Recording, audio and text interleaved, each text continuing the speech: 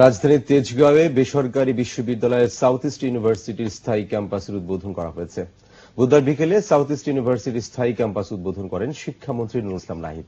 এ সময় প্রধান অতিথি বক্তব্যে শিক্ষার মান বজায় রেখে এই বিশ্ববিদ্যালয়কে সামনে এগিয়ে যাওয়ার আহ্বান জানান তিনি। অনুষ্ঠানে ইউনিভার্সিটির উপাচার্য প্রফেসর ড আনোয়ার হোসেন, বোর্ড অব ট্রাস্টির চেয়ারম্যান মোহাম্মদ রেজাউল করিম, বিভিন্ন অনুষদের ডিন, শিক্ষার্থী ও অভিভাবক সহ অনেকেই উপস্থিত ছিলেন। এবার বাণিজ্য সংবাদ।